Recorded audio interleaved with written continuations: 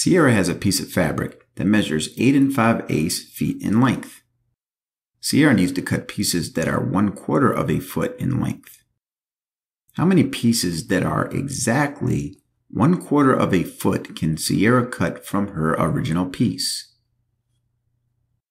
To solve this problem, we are going to create circles to represent each foot of the fabric that Ciarra has. So we're going to say that this first circle represents one foot and this is two feet and so on. And we have eight whole feet here and five eighths of another whole. So altogether, this is our eight and five eighths of a foot. And what we're trying to do is figure out how many pieces that are exactly one quarter of a foot can we pull out of this entire length of fabric. So what we're going to do is divide all of these whole circles into quarters. Now that we have divided them all into quarters, all we have to do is count and see how many quarters we have altogether. Now we should know that we can get exactly four quarters out of one whole. So in this one foot right here, we can get four quarters. And we have eight wholes altogether, so we can simply take eight and multiply that by four, which will give us 32.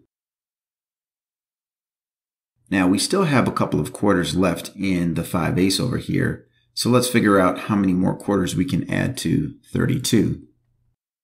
Well, if you take a look here, we can highlight this section and this section here. And we can say that we can get one more quarter here and one more quarter here. But this piece right here is 1 eighth and one eighth isn't large enough to get a piece that's one quarter. So we have to ignore this piece. So out of all of the whole circles or the eight whole feet, we can get 32 quarters. And then we add these two extra quarters here on the end and 32 plus two more quarters gives us a total of 34. So we can say that Ciarra can cut 34 pieces of fabric that are exactly one quarter of a foot in length. Now another way of doing this problem is by taking 8 and 5 eighths and dividing that by one quarter of a foot. And we want to see how many whole times this will fit inside 8 and 5 eighths. So we're going to start by renaming this mixed number as an improper fraction 8 times 8 is 64, plus 5 is 69. And the denominator will stay the same. Whenever you are dividing by a fraction, you should multiply that by its own reciprocal. So we're going to multiply by 4 over 1. Now we look for opportunities to apply cancellation. 4 and 8 can be canceled or reduced to 1 half. So this 4 will be a 1 and the 8 will be a 2.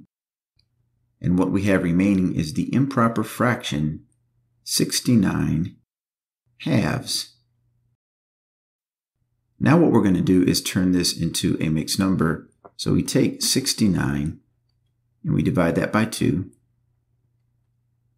And 2 goes into 6 exactly 3 times. And 2 goes into 9 4 times which is a total of 8, and that leaves us with 1 remaining.